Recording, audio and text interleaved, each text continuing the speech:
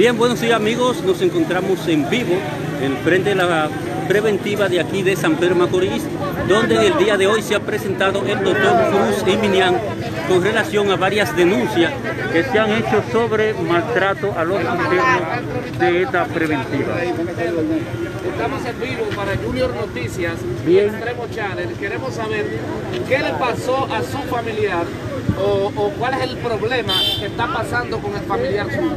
Yo soy la mamá de Kenny Reyes y él tiene una úlcera en el estómago. Él me dice que cuando le dan vomita hasta la sangre. Lo han sacado dos veces en esta semana. Cuando le por el estómago, el, el está ahí. Él quiere cuarto, cuando no le dan cuarto.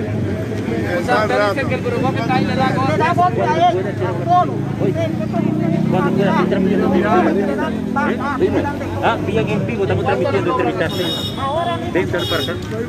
Bien, Víctor López, estamos transmitiendo en vivo. Ventura, ¿qué se debe la visita aquí a San Pedro Macorís?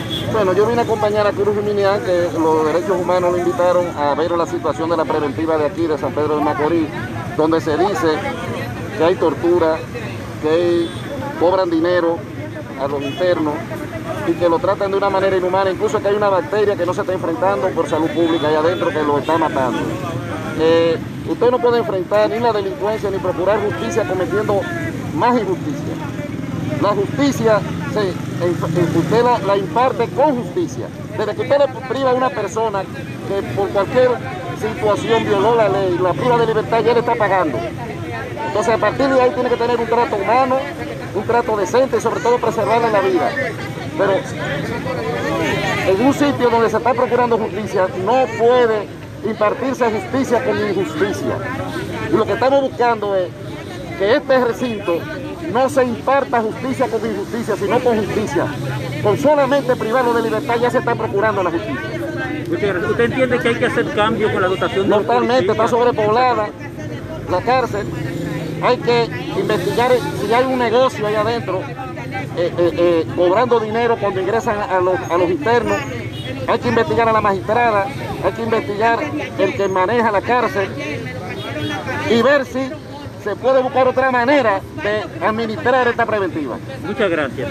Otra cosa está pasando, que es lo siguiente. A mí mismo me han llamado personalmente a que vaya a intervenir por preso ahí. Él ha estado cobrando 2.500 pesos. ¿Tu nombre presión. es? ¿Tu Armando? Rosa Pinal.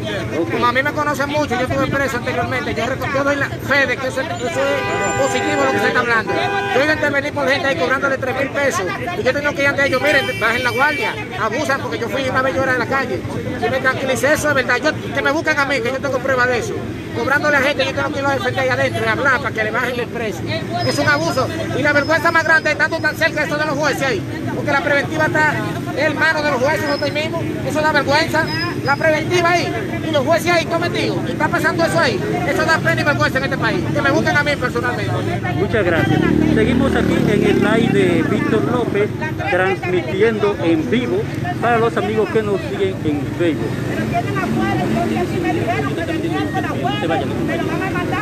Bien, aquí se han presentado una gran cantidad de personas que tienen eh, personas detenidas, tienen familiares detenidos a esta preventiva de aquí de San Pedro de Macorís. Vamos a conversar con un representante de los derechos humanos, estamos transmitiendo en vivo.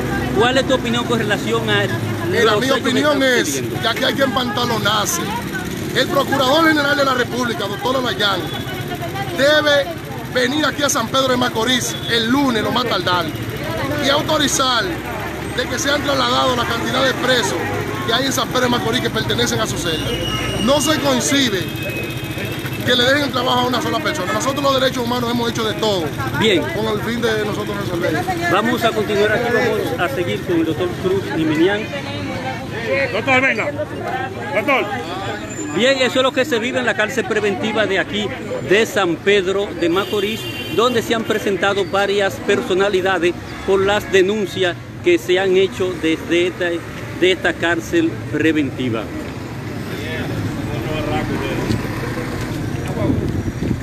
Bien, esta es la situación, ahí podemos ver una gran cantidad de personas. También miembros de la Policía Nacional.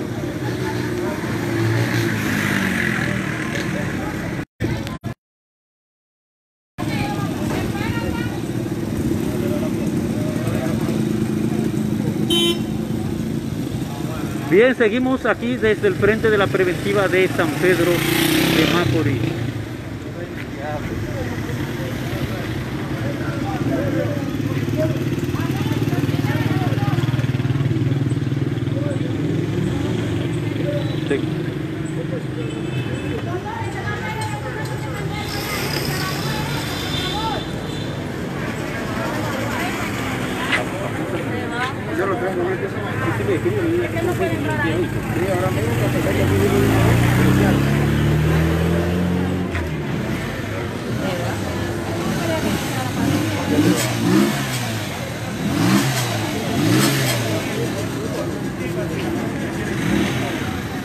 Bien, esta es la situación que se vive aquí en la preventiva de San Pedro de Macorís, donde se ha presentado el doctor Cruz Jiminián, ya que se han hecho varias denuncias de tortura a presos donde otros han fallecido.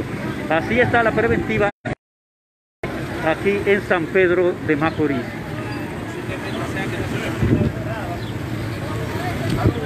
A la Procuraduría.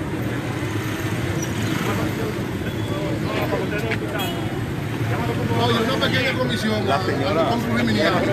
Para que entre la preventiva. Sí, La titular de la guardia. Ah, venga, venga, venga. Venga, que venga.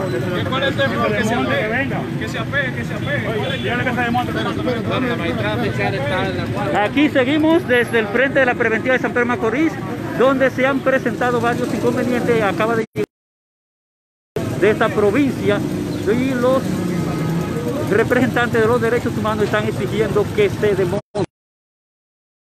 Que se desmonte para hablar con él.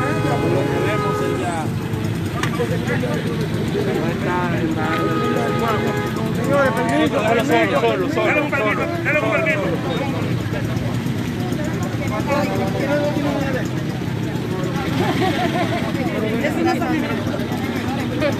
Pero que la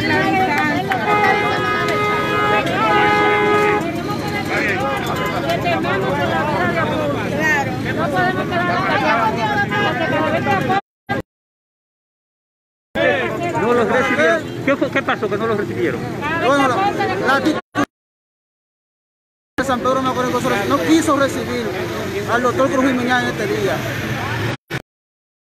El Comité Dominicano de Derechos Humanos, Antonio Guerrero Robles, le, hacemos un llamado al presidente, le hacemos un llamado al presidente constitucional de la República Dominicana, licenciado Danilo Medina Sánchez, de la República, que destituya inmediatamente a la causante de toda la muerte aquí en la preventiva de San Pedro de Macorís. Me dicen que anoche fallecieron dos productos. Falleció una Van cuatro muertes en menos de un mes. Esa fiscal es una irresponsable. Demasiado irresponsable. Ella es parte del problema de aquí. Ella es la que está haciendo el negocio ahí adentro, conjuntamente con los presos. Ella es la que permite todo ahí. Por eso le pedimos la destitución al mismo Procurador General de la República de esa titular fiscal. Ah, eh, acaba de llegar la magistrada. todo de aquí. Acaba de llegar la magistrada. Magistrada, lo, lo está- estamos transmitiendo en vivo, le están esperando aquí. Aquí le espera, que falleció otra persona ayer, llegó el doctor Cruz Jiminián. Y hay, y hay pro- Él está, está ahí. Él se fue. Sí, no lo quisieron recibir. No lo quisieron. Recibir, según eso es lo que se cuenta. Lo que se Están comenta. diciendo que usted no quiso recibir al doctor. Y se fue. No, pero que yo me estoy enterando ahora que él está ahí. Sí, ¿dónde está el doctor? Él se fue. No. ¿Cuál es la situación, magistrada, que está pasando en la cárcel preventiva de San Pedro de Macorís? Bueno, la situación es que tenemos tenemos una gran cantidad de presos, como ya yo había informado anteriormente. Estamos trabajando para eh, eliminar el hacinamiento que tenemos, pues eh, no nos estaban recibiendo los presos en los centros debido a, a evitar la propagación del coronavirus, pero ya gracias a Dios estamos empezando a recibir eh, cupos y estamos de igual manera haciéndole prueba a los presos para ser llevados a sus respectivos centros. ¿Tiene usted conocimiento de que hay dentro de dinero y le da golpe a los internos? Si me han informado de ese ciudadano, eh, se le solicitó hacerle la prueba eh, porque en los centros no los reciben si no se le hace la prueba del COVID y ya ese ciudadano inclusive tiene una denuncia de un familiar donde se estará procesando. Es cierto que Dicen que, que falleció el día de alguien. ayer, sí, que falleció producto de los golpes que le dieron ayer, que ayer hubo un motín. Todavía anoche. no tengo un diagnóstico, o sea, yo no podría decirle a ustedes si es cierto eso. Primero hay que confirmar para poder dar una buena información a Ok, ustedes. porque los familiares dicen que producto de los golpes, que ayer se armó un motín ahí, dicen los familiares. No, eh, bueno, el teniente está ahí, ustedes pueden entrevistarlo y verificar. Vale, podemos preguntar al No me teniente. informaron de ningún motín anoche. ¿Están ustedes de acuerdo con que el doctor Cruz Jiminián intervenga a los presos de la preventiva? Claro que sí, todo el que pueda colaborar con esta situación tiene que unirse a la causa. De hecho, me hubiese gustado eh, verlo y hablar con él, pero lamentablemente eh, no me informaron la hora en que el doctor venía para acá. O sea, yo estoy a... Porque sí me dijeron que dentro de la preventiva había una situación, se solicitó refuerzo y a esos fines vine. Pero honestamente no tenía conocimiento la hora en que el doctor venía. Sí me dijeron que él venía, pero no me informaron la hora. Ok, muchas gracias. gracias. Bien, esta es la situación que se vive aquí en San Pedro de Macorís. Bueno, ella dijo que se le puede preguntar sobre el, motín de ayer al teniente, dice la magistrada. La policía está frente a la entrada de la fiscalía. No se le permitió la entrada al doctor. Venían los presos. Pero así es la situación. Aquí Esta, vemos esta es lo que familiares, se vive aquí en San Pedro de Macorís. miembros de derechos humanos que están eh, parados frente a la preventiva. Cosita, ¿qué nos puede decir sobre la preventiva? Diga usted, ¿cuál es su opinión con relación a esta situación? Sí, buenos días. Eche para acá. Buenos días, doctor Dionisio Feliciano, representante de los derechos humanos, el jurídico de San Pedro.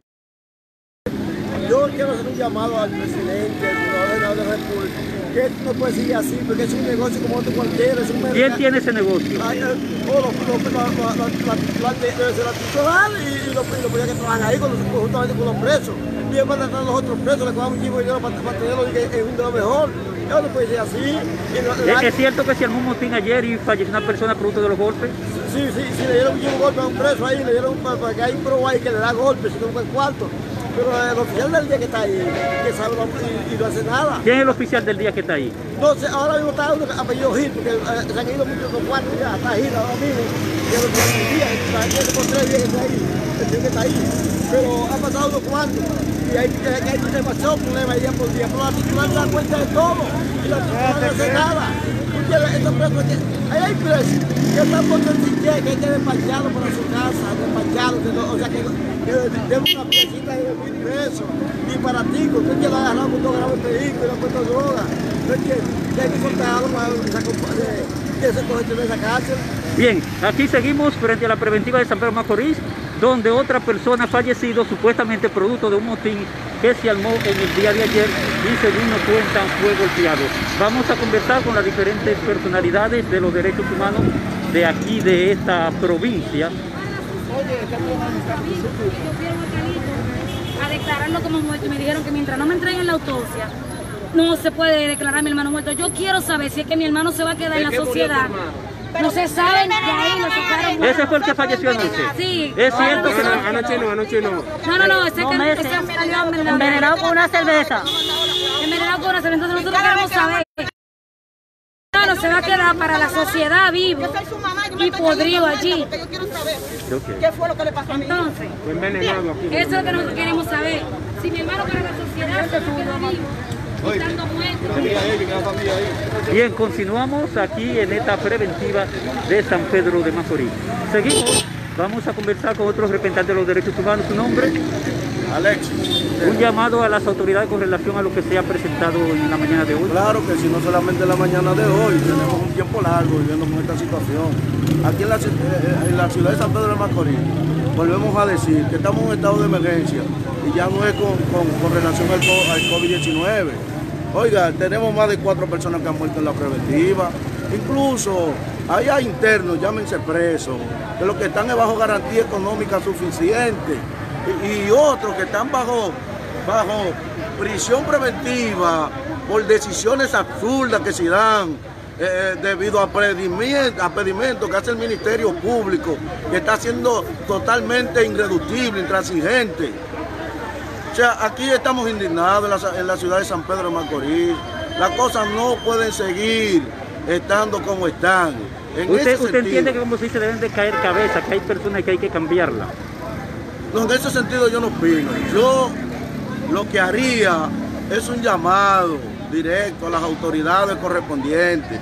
Llámese el Consejo del Poder Judicial, Suprema Corte de Justicia y en caso fortuito al presidente constitucional de la República que ponga la vista aquí en la ciudad de San Pedro Macorís con relación a algunos casos, en el caso específico, valga la redundancia, de aquí de la preventiva, el nombre lo indica, preventiva, los presos están ahí eh, de modo de, ser investigados por un, por, un, por un hecho que ha cometido, que a veces no lo han cometido. Hay gente incluso preso injustamente. No estamos haciendo llamados de que se cambie o no se cambie.